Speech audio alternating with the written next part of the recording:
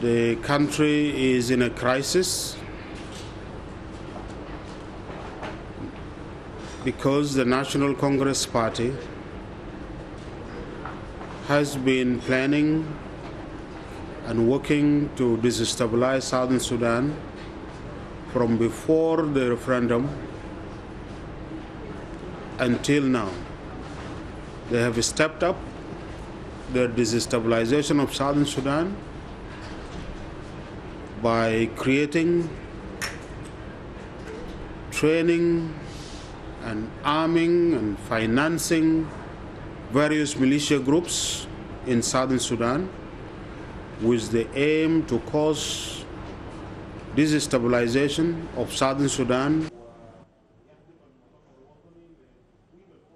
We call on the Security Council of the United Nations to investigate the conduct of the NCP and the plan of the NCP to destroy the South, to destroy peace in the South.